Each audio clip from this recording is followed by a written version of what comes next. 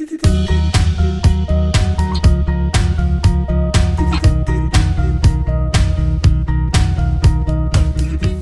одном из своих видео я уже упоминала косметику Ева Мозаик. Впечатления у меня они всегда были только положительные. Впервые я ее попробовала лет пять назад, тогда у меня появилась кисть Кабуки, которая перестала мне служить лишь в прошлом году. А, и то по какой-то очень нелепой причине. Также я пробовала очень много чего, очень много разных средств.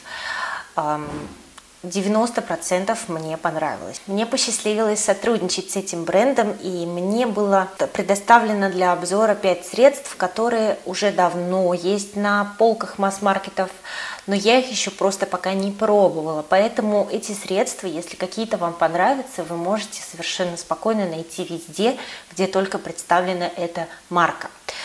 У меня это в основном косметика для глаз и хайлайтер база под тенью.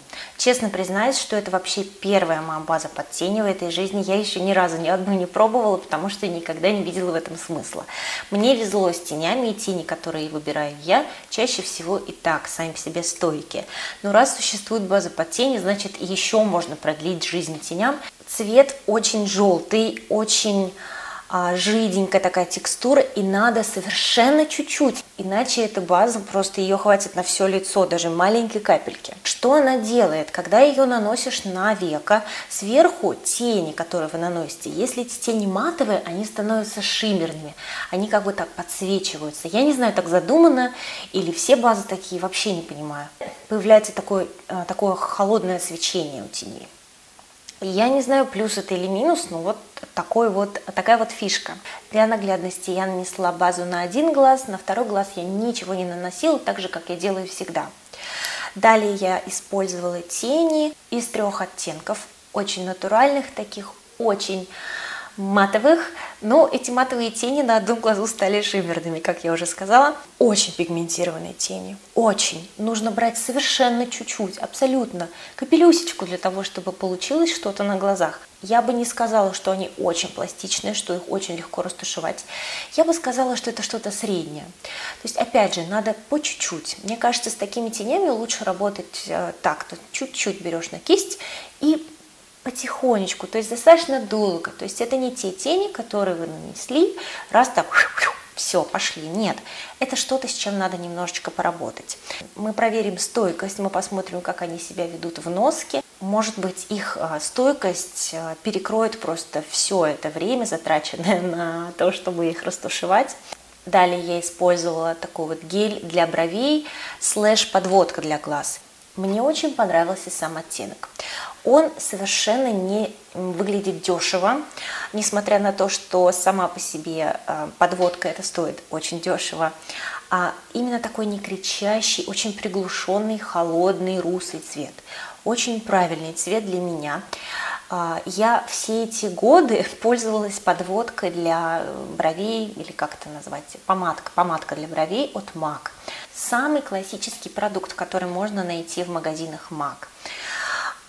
Я никогда не была в пищащем восторге от этой помадки, потому что она очень сложная, чтобы ее правильно нанести, чтобы не сделать себе брежневские брови, а чтобы именно вот как-то заполнить брови чуть-чуть, слегка. Очень сложно с ней работать, на мой взгляд. И, во-вторых, она очень не такая нестойкая, что ли. Если, не дай бог, вы вспотеете или намочите лицо, она сразу превращается в комочки, собирается вокруг каждого волоска. Что будет с этой подводкой, я не знаю. Насчет использования ее на глазах, как по мне, так она слишком сухая. То есть она такая слишком... Для бровей хорошо.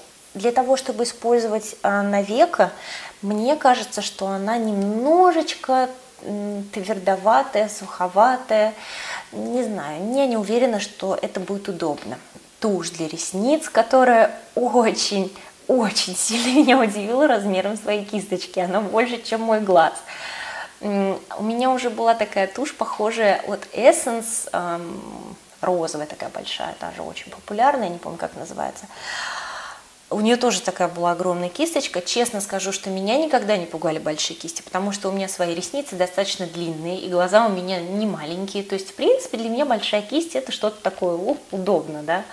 Но я знаю, что очень мало кто любит реально большие кисти, потому что очень часто большие кисти делают такой месс на лице, такой просто э, беспорядок такой, то есть они везде отпечатываются, везде пачкают глаза. И очень часто бывает, что они просто комком кладут тушь на ресницы и все. В моем же случае получилось все хорошо, но я не уверена, что это подойдет каждому. Как прокрасила на ресницы мне понравилось, как она будет себя вести, мы увидим потом. И, конечно же, хайлайтер. Я его ждала больше всего. Я уже давно жду, выбираю себе хайлайтер, который я бы могла использовать каждый день. И пока что в моих фаворитах Dior Nude Air Luminesia. Мне показалось, что этот хайлайтер очень похож именно оттенком. У него очень такой приятный оттенок шампань. Он ни в розовинку, ни в золотинку, ни в холодинку, он никуда не идет. Он именно такой красивый цвет. Как я и ожидала, он оказался не очень ярким. Честно, я его сводчила в магазине однажды и хотела его даже взять на пробу, потому что, опять же, мне очень понравился оттенок но мне показалось, что он слишком такой, слишком крупного помола, при том, что там нет глиттера. Но мне показалось, что он слишком такой вот э, пудровый. Ну, когда я его, в принципе, попробовала уже на лице, нанесла его кистью дома, мне показалось, что он достаточно э, хорошо сливается с кожей, но его надо много. То есть он наоборот, например, в отличие от теней, а, его много надо, чтобы он реально был на лице заметен. Именно такой хайлайтер я бы предпочла на каждый день. Учитывая, что Dior стоит в 10 или даже больше раз дороже, наверное, целесообразнее все-таки пользоваться таким, мне кажется. Качество хорошее, я бы посмотрела еще, как он держится, потому что он достаточно, опять же, такой незаметный на лице, но он именно делает такой, он подсвечивает кожу. Он не дает именно такой эффект э, вот, э, стробинг. Нет, он не дает такой эффект. Он именно такой мягкий на каждый день. Сегодня я бы хотела попробовать поиграть в игровую приставку, в Kinect, потанцевать, позаниматься спортом, что-нибудь такое поделать и хорошенечко вспотеть, потому что мне кажется, что именно пот он заставляет косметику показать себя во всей красе, потому что если это все потечет с моего лица, если это все исчезнет, то пиши пропало. Я сегодня попробую. Да, встретимся через несколько часов, я посмотрю, как это будет носиться в течение дня. Да, уже прошло часов 6, наверное, или 8 с тех пор, как я накрасилась.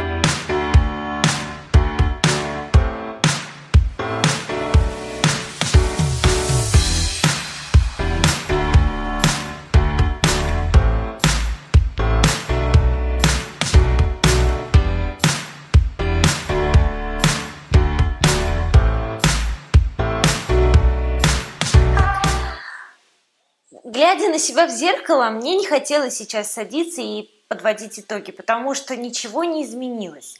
Единственное, что я поправляла, это помаду. Но помада не имеет никакого отношения к сегодняшнему ролику, по сути, поэтому я реально не знала, к чему придраться. В общем, вот эти самые пять средств, которые мне понравились снова. И ведь я не зря отдала свое сердце Ева когда-то. Э, среди бюджетной косметики это мой фаворит – теперь уже точно. Иногда мне в голову приходят такие мысли, почему часто покупаю какую-то люксовую косметику, тратя большие суммы денег на их покупку, на их приобретение, мы получаем какую-то каку, и мы жалеем, жалеем о том, что мы потратили деньги, или как минимум у нас нет никаких положительных эмоций. В то время как такая косметика, как Ева, заслуживает, на мой взгляд, намного больше, чем она получает от нас, как от потребителей. Я бы с удовольствием платила больше за эту косметику, чем приходится платить. Пожалуй, из всего мне больше всего понравилась вот эта вот штучка для бровей Ideal Eyebrow Designer.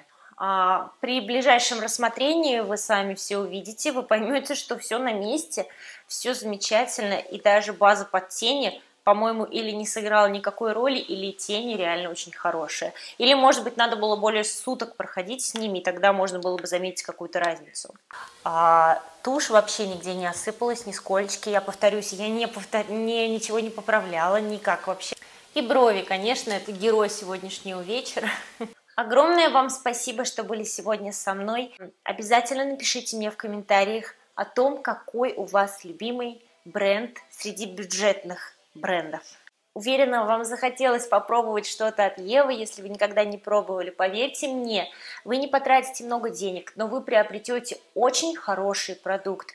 По крайней мере, мне так показалось, исходя из всего того, что я сегодня видела, и вообще за всю свою жизнь я пробовала, вы сами это видели своими глазами. Спасибо за просмотр. Пока-пока.